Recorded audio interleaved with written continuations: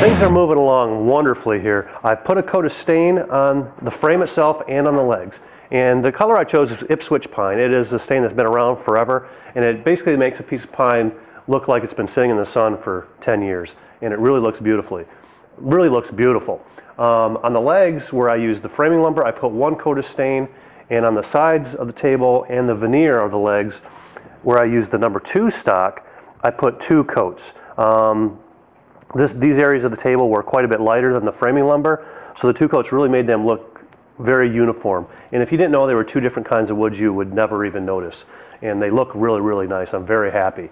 So now what I'm getting ready to do is I'm on, just on the outside and the visible portions of the table, I'm going to put some wiping varnish. And that, basically what that is, is I have a 50% mixture of satin polyurethane and mineral spirits. And this pine will soak this up like a sponge. And what I'll do is I'll put two coats of this on as a wiping varnish. And then for the last coat, I'll sand and then I'll put a full strength coat of the satin polyurethane in. And it'll, it'll make for a very nice finish.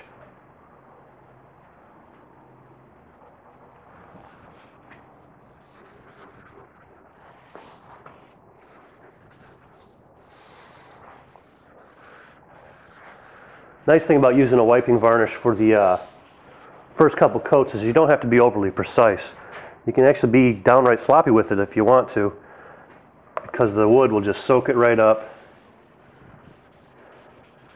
and save your uh, precision finishing for your final coats.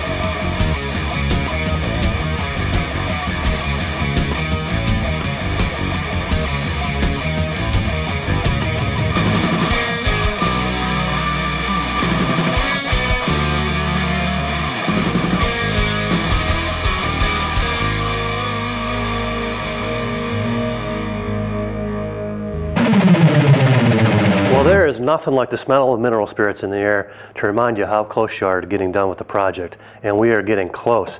Things are going along smoothly. Now yesterday morning I put a coat of wiping varnish on here, and let that dry all day. Then last night I put another coat of wiping varnish on it and I let that set up overnight. And this morning I came in and I sanded it all smooth with a light sanding with 220 grit and then I took a tack cloth and wiped it all clean. And my tack cloths are nothing more than uh, paper towel soaked in mineral spirits. It works very well. So now what I'm going to do is I'm going to put a full strength coat of poly, my satin polyurethane on the legs and the frame. And some people like to use foam brushes for this. I've never really been a big fan of foam brushes. I have here what they call a China bristle brush. I don't really know what that means, but it's what I've always used, and I get very good results with it. Now hopefully this will be my final coat. I do have a few spots that soaked up that varnish pretty good, so I may have to go back with a second final coat, but I'm hoping that this will be the final coat.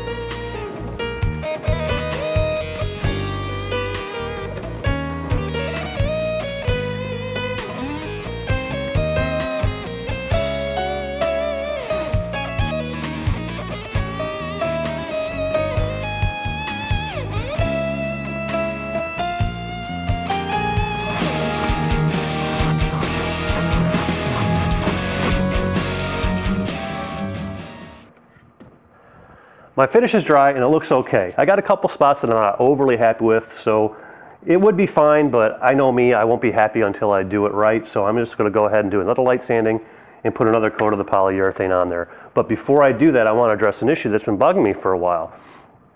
When I originally designed this table, the legs were just going to be a hollow box, and they were going to attach to the frame with what would be a mortise and tenon joint with glue, and they were going to be glued.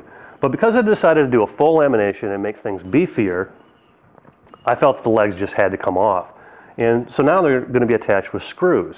Now, one thing that pine does not do very well is hold screws, and I'm very afraid that over time, those screws are going to back out, making the table unstable. And for obvious reasons, we don't want that. We're going to spend a lot of time getting the table level, and we want that base to be solid and not move on us.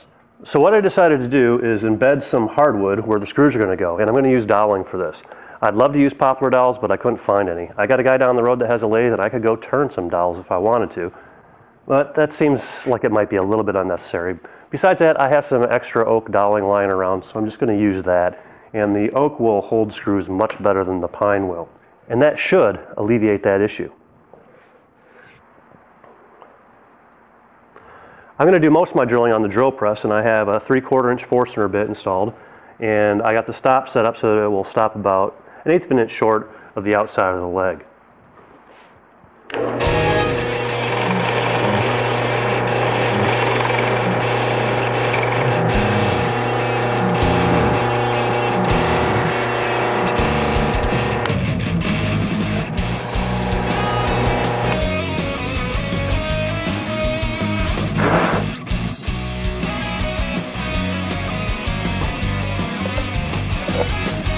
That looks great.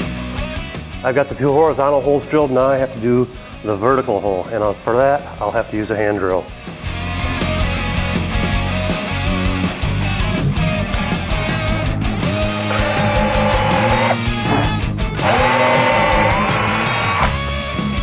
I got my holes drilled and I got my dowels cut to the proper length. Now it's time to glue them up.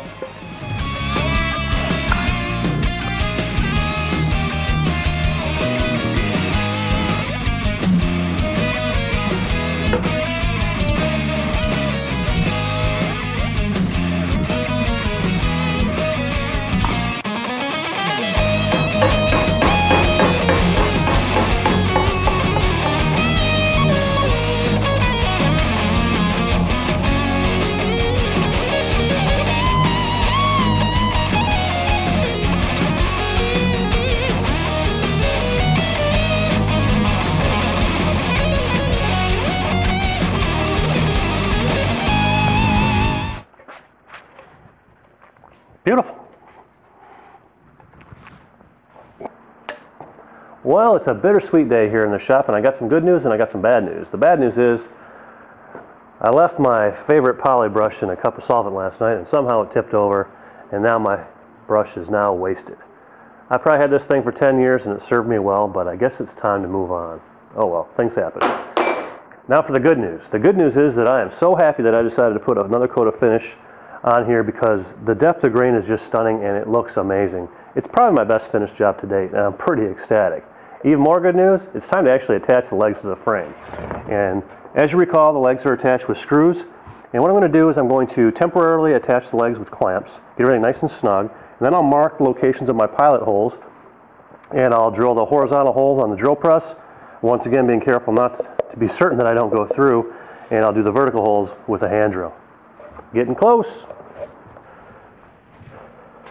I've got my legs attached and I got the slate set in place and that is some heavy stuff. I did need to get some help with that. And the only thing left to do on the frame is to cut off these areas of the frame that protrude from the pockets.